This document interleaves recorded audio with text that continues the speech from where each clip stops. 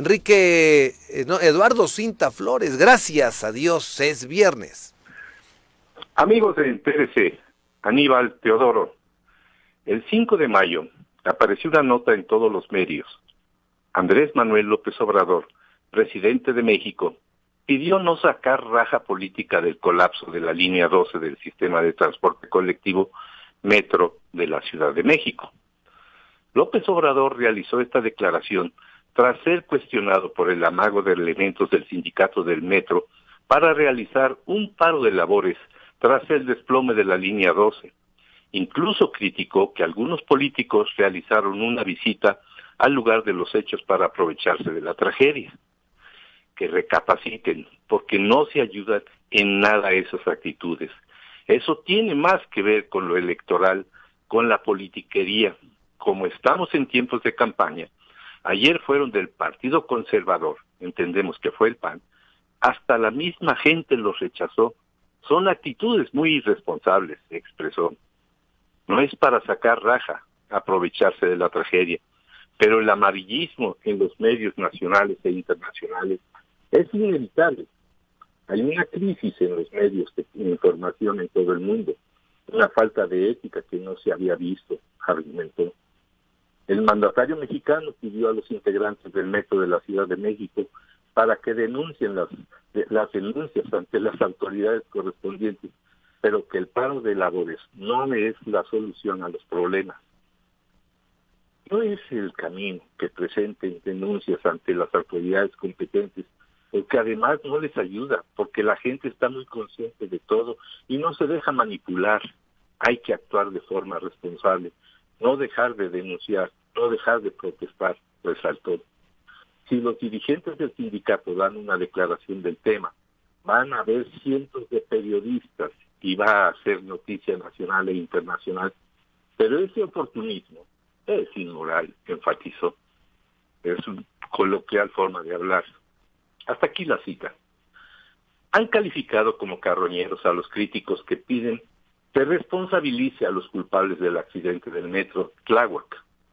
Se olvidan que igual critica hizo AMLO por los desgraciados casos del incendio de la guardería ABC registrado el 5 de junio de 2009 en época de Calderón y pidió la renuncia del entonces secretario de Comunicaciones y Transportes del gobierno federal Gerardo Ruiz Esparza, por fallecido, por el socavón en el Paso Express de Cuernavaca, acaecido el 12 de julio del 2017.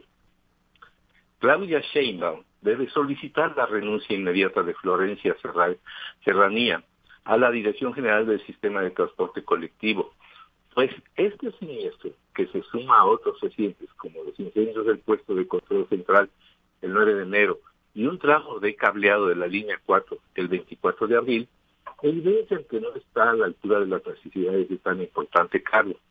Pero, lo más grave, ella tenía conocimiento del mal estado que presentaba la línea dorada y no le dio mantenimiento, arguyendo que de inicio le recortaron el presupuesto y nunca le dieron los cuatro mil millones de pesos que solicitó para el mantenimiento general del metro, incurriendo en el delito de omisión al no detener la operación de la línea 12 para evitar el sacrificio de muchos inocentes ciudadanos.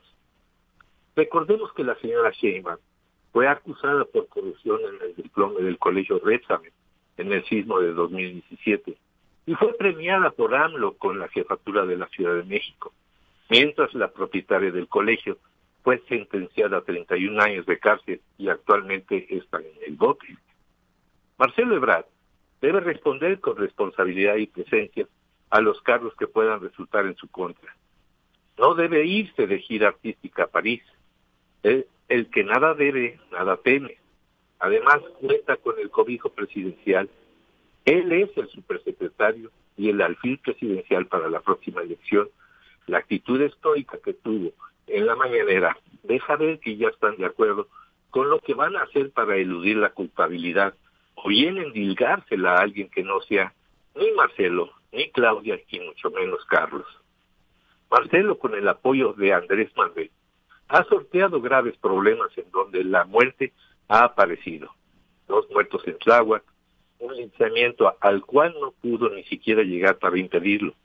Trece jóvenes fallecieron aplastados en una estampida provocada por policías que les cerraron las puertas del antro News Divine con tal de extorsionarlos. Y ahora la línea de dorada se derrumbó. Falló la estructura construida por el grupo Carso y deja 25 personas fallecidas y más de medio centenar de heridos graves.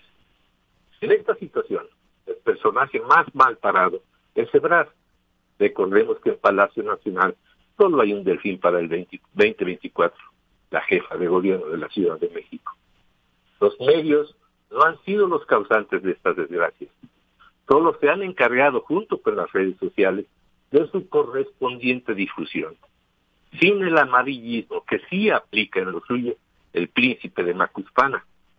Porfirio Muñoz Ledo, presidente de la mesa de decanos de la Cámara de Diputados, anunció que propondrá un ejercicio de comunicación en el que todos los opositores puedan participar como, como contrapeso de la información difundida en las conferencias matutinas del presidente.